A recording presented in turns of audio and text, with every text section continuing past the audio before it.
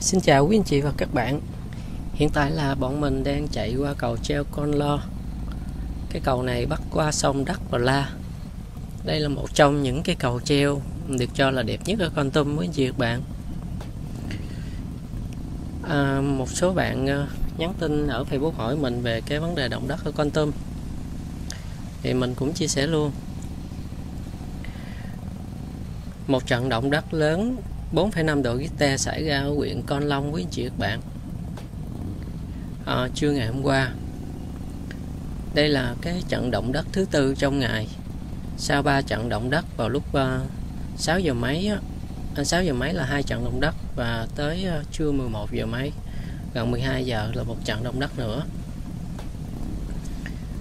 Theo mình được biết thì ba ngày qua ở địa địa bàn huyện ờ, Con Long á, thì xảy ra tới 14 trận động đất lớn nhỏ.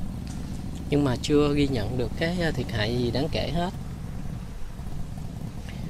Thì cái trận những cái trận động đất đó thì xảy ra ở huyện ờ, Con Long cách xa ở vị trí của bọn mình hơn tới 80 km đi về hướng Măng Đen quý chị bạn.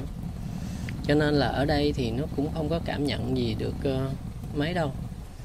Đó cho nên là bọn mình vẫn ổn nha thì uh, vừa uh, Vivo và vừa edit video.